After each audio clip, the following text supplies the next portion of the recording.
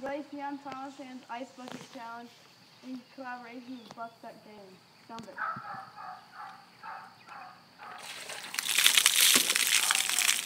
Okay.